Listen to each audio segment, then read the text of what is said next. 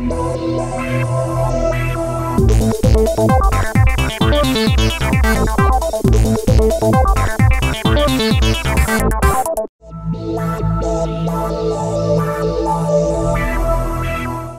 saluto a tutti gli amici di GD Poker, sono Arion Islamai, specialista di Up. Proseguiamo il nostro viaggio parlando di alcune dritte sulla strategia, soprattutto post-flop, eh, nel mondo dei sit and go Up. Oggi affronteremo il discorso della continuation bet.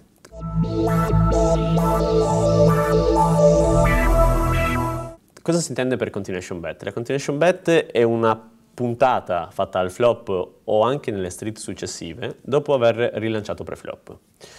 È importante sapere andare in continuation bet, è importante saper capire quando andare in continuation bet, è importante eh, calibrare bene la frequenza eh, con cui si va in continuation bet. Ma quali sono i fattori da tenere in considerazione eh, prima di fare questa puntata? Innanzitutto gli stack in gioco dei due avversari. Non ha alcun senso andare in continuation bet quando io oppure il mio avversario abbiamo 10 big blind. Ne abbiamo investiti due per poter rilanciare pre-flop e ne devo investire altri due per, eh, per, poter andare in continuation bet. Quindi andare in c-bet per, per, per foldare sarebbe uno spreco di fish.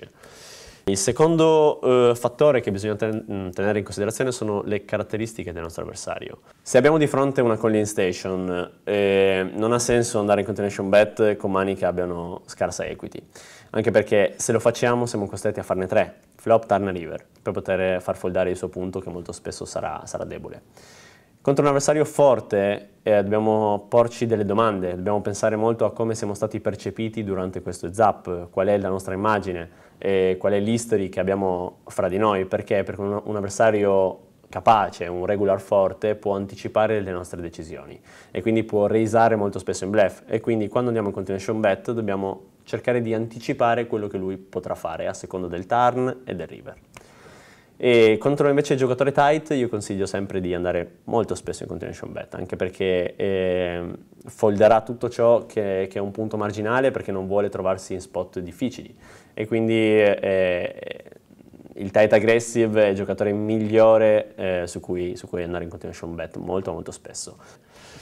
L'altro fattore potrebbe essere il momento della partita. Eh, ci sono eh, delle fasi delle zap, soprattutto a livelli a, a bui alti, dove eh, andare o non andare in continuation bet eh, fa la, fa, la, differenza. Se è un avversario eh, capace, eh, questo avversario saprà molto bene quando pushare sul, sulle mie c-bet, quando i blind sono alti. Se ho invece un avversario non capace, eh, potrò vincere eh, piatti considerevoli a bui alti andando in continuation bet molto molto spesso. Quindi eh, la, la, la C-bet è, è, fortemente correlata al momento della partita, inteso come i blind, oppure inteso anche come stato psicologico del nostro avversario. Se noi abbiamo notato che il nostro avversario è particolarmente in tilt dopo una mano che abbiamo fatto in precedenza, possiamo intuire che la sua frequenza di raise alla, alla, alla nostra C-bet aumenterà, quindi possiamo evitare di farlo per un lasso di tempo considerevole.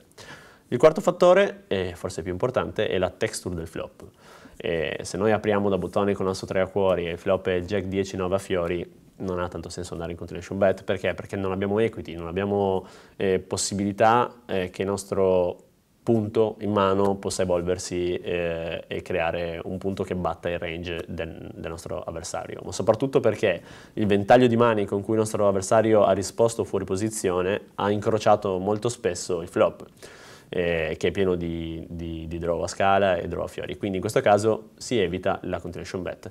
Mentre va fatta, e avrete sicuramente eh, enormi percentuali di vittoria, eh, su, su, flop dry e rainbow come K72, donna 5-3 eh, e via scorrendo. Quindi, riepilogando, bisogna tenere in considerazione quattro fattori. Stack, caratteristiche dell'oppo, momento della partita e texture del flop. Una volta che abbiamo eh, dimestichezza con la continuation bet, eh, sapremo riconoscere eh, dopo un gran numero di partite eh, i flop in cui è corretto andare in continuation bet, dove, dove la nostra c-bet avrà valore atteso positivo, cioè sarà più EV. Tutto questo eh, nasce solamente con l'esperienza, quindi macinate, macinate games, macinate, macinate flop.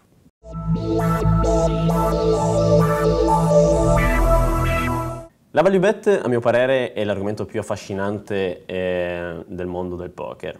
Eh, con questo termine mh, mm, stiamo ad indicare una puntata per valore fatta su una street dove noi reputiamo che il nostro avversario possa pagare con un ventaglio di mani che noi battiamo. Quindi quando io faccio una value bet, eh, la mia puntata è riferita a quella parte del suo ventaglio di mani eh, che noi reputiamo possa pagare da sotto. Saper fare value bet è importantissimo, eh, soprattutto è fondamentale non lasciarsi sfuggire eh, del valore per strada. Eh, se a noi al TAR non potevamo prendere qualcosina eh, e non l'abbiamo fatto, abbiamo commesso un errore molto più, più grave del, dell'aver pagato fuori odds. Cominciamo con un breve esempio che possa essere illustrativo e possa dare chiarezza eh, su quanto sia importante la value bet. Ci troviamo in un heads up sit and go su GD Poker. Eh, il mio avversario è una calling station e la mia nota che ho su di lui recita questo. Eh, il mio avversario è molto passivo, tende a pagare con qualsiasi tipo di draw e um, gioca tantissimo fuori posizione e inoltre eh, tende a difendere i punti che lui reputa forti, tipo con top air tende, tende a rilanciare e, ed è un, un, avversario portato ad arrivare molto spesso allo, allo showdown. Apro da bottone asso 9 off, eh, rilanciando a 50 e ovviamente lui fa call. Flop 9-6-4, piatto da 100 fish. Dopo il suo check decido di, mm, di andare in continuation bet puntando 60 avendo 8 pair good kicker e ovviamente lui fa call. Turn K pot da 220, lui fa ancora check. Con che mani il mio avversario mi sta seguendo? Il mio avversario può avere qualsiasi tipo di 9, può avere eh, mani come 7-8, 7-5, gutshot dal basso, oppure anche semplici overcard come KQ, KJack, Donna Jack, Jack 10, insomma, mani, mani del genere. E anche perché ai suoi occhi io ho puntato poco, ho puntato, ho puntato 60 e quindi non c'è nessun motivo per un giocatore scarso come questa calling station per poter andare via da, da questo pot. Quindi decido di puntare lui fa call. River K. Lui fa ancora check. Per le informazioni che ho sul mio avversario, io so che se lui avesse avuto doppia coppia o set sul flop, sarebbe stato propenso a fare raise. Quindi nel momento in cui lui fa il terzo check, o ha mancato draw, oppure ha sempre mani che eh, possono pagare qualcosa allo, allo showdown. Però quanto si può puntare? Quant'è la puntata di valore giusta contro questo avversario? Dipende dall'avversario che abbiamo di fronte, dalle sue caratteristiche, dalla texture del board e dall'history che abbiamo con lui eh, fino a questo momento. Noi ab- abbiamo di fronte un avversario scarso, con una grande tendenza ad arrivare allo, allo showdown e che non si pone grandi domande su cosa possiamo avere realmente noi lui guarda solamente la propria mano. Possiamo sfruttare quindi queste sue caratteristiche a nostro favore per poter scegliere un, un, una size abbastanza elevata. Possiamo puntare qualcosa come 400. In questo modo se il nostro avversario fa call eh, lo porteremo in, in, una, in, una, situazione di, di svantaggio. Il suo zap sit and go sarà, sarà in salita. E avere un, un avversario con in station short stack eh, ci darà enormi chance di vincere le zap. Quindi non perdete mai l'occasione di piazzare una, una, value bet mirata, a seconda delle caratteristiche del vostro avversario e a seconda di come lui vi vede, cioè di come è percepita la vostra immagine. Sfruttare queste caratteristiche renderà voi dei giocatori ottimi di heads up, ma soprattutto vi farà vincere tantissimi soldi nel lungo periodo. Perché? Perché vi porterà, grazie ad una singola puntata in una singola mano, ad essere in posizione di vantaggio in quelle zap e mediamente vincerete con più facilità i vostri zap, grazie ad una singola puntata calibrata in base alle informazioni che avete avuto fino a quel momento.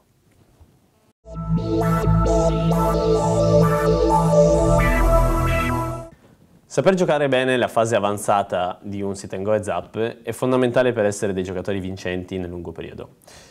Col termine fase avanzata eh, si intende la parte del eh, il momento delle zap in cui si hanno mediamente da 10 a 15 big blind, ovvero i bui 50-100. E, mm, I blind sono elevati, quindi eh, rubare il buio al proprio avversario diventa fondamentale, ma soprattutto bisogna cercare di non scendere sotto ad una, ad una soglia critica in cui il nostro stack eh, non, non ha più fold equity. Quindi eh, bisogna calibrare bene le proprie continuation bet, bisogna saper scegliere con cosa pushare o con cosa chiamare un push quando il mio stack o il suo stack sono sotto ai 10 big blind e non bisogna so, eh, soprattutto essere eh, scary, essere impauriti dal, dal, non sapere che cosa fare. Bisogna eh, individuare il range teorico con, con, cui il nostro avversario pusha in una situazione in cui ha ad esempio 8 big blind e eh, chiamare sempre con una mano che, che giochi a EV contro il suo range di push. Come si fa a fare questo? è solamente l'esperienza che te lo dice. E più up fai e più ti riesci a rendere conto delle frequenze, in base alle, fre alle, frequenze di push del tuo avversario in queste situazioni, riesci a stabilire un range teorico con cui lui possa, possa pushare, che fa la differenza fra chiamare o foldare con, con K-Jack in certi spot se ho di fronte un avversario super tight che, che, mi, sta, che mi, sta, mollando tutti i bui e, e all'improvviso ha fatto l'in con, con 7 big blind, non ha tanto senso chiamare con, con asso 2 perché eh, sarà una, una, chiamata a meno V perché il suo range di push è molto molto stretto. Se invece ho, ho dall'altra parte un altro regular, un altro giocatore forte che ha 7 big blind, posso invece fare instant call con, con asso 2 perché mi aspetto che il suo range di push vari da 10-9 suited fino, fino a top range.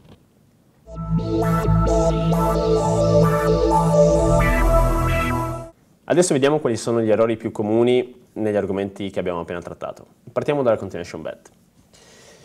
L'errore più grave che si può commettere riguardo alla continuation bet è quello di, di andare a, a, puntare su flop in cui abbiamo zero equity. Questo che cosa significa? Significa, ad esempio, se noi rilanciamo con asso 5 a cuori e flop è 8, 7, 9 a fiori, le, le, nostre equity sono, sono, veramente scarse. E questo significa che andare in C-bet avrà molte meno chance di successo. Perché? Perché la texture del flop incrocia molto spesso i range di risposta con cui il nostro avversario ha chiamato fuori posizione e quindi riceveremo troppo spesso un call oppure un raise, rendendo in inefficace la nostra continuation bet.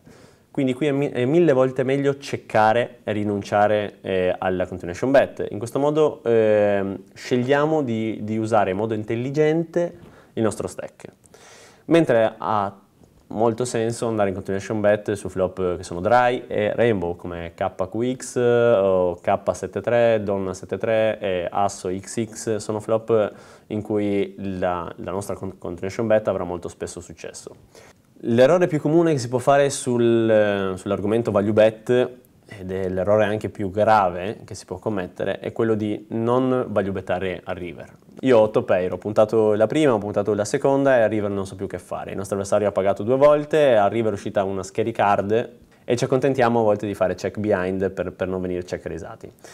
Basta pensare che molto, molto raramente i nostri avversari check raisano river e, e, se lo fanno vuol dire che hanno del, delle qualità. Quindi eh, contro un avversario medio, medio, medio scarso, eh, non perdete mai l'occasione di puntare anche a river, scegliendo la, la size giusta eh, a seconda di chi sia di fronte. Perché? Perché perdere del valore in una mano, eh, del valore teorico eh, che si potrebbe vincere, eh, significa non aver colto l'occasione di mettere in difficoltà il nostro avversario. Eh, ci renderà molto meno prevedibili il puntare su tre strade, ci, ci renderà molto meno eh, difficili da battere eh, il fatto di cercare spesso, spesso dietro. Quindi mm, bisogna cercare di sfruttare ogni singola mano e cercare di prendere il massimo valore, anche al river, anche al flop e anche al turn. Per quanto eh, riguarda la fase avanzata, il classico errore che, com che commettono le persone è quello di eh, morire letteralmente di buia aspettando una monster end nella, nella mano successiva. Non commettete questo errore perché voi state affrontando gli heads up in bankroll, state giocando in bankroll, questo significa che non avete paura dell'esito di questo heads up, quindi eh, pushate ogni volta che avete fold equity, pushate ogni volta che avete una mano che possa giocare decentemente contro il range di risposta del nostro avversario. Non perdete l'occasione di rubargli un buio nella fase avanzata, che a bui 50-100 eh, significa rubargli un decimo dello stack. Quindi bisogna essere aggressivi eh, in questa fase e non bisogna essere timorosi. Contro avversari forti e capaci bisogna accettare di giocare un 60-40, un coin flip, eh, non, non, ci si può permettere di perdere un buio nella speranza di, di, avere una monster end la mano successiva. Questo è un errore che commettono le persone che non giocano in bankroll e le persone che sono tendenzialmente scarse e che non hanno capito la matematica che sta dietro al mondo degli up. Grazie per l'attenzione, ci vediamo ai tavoli di GD Poker.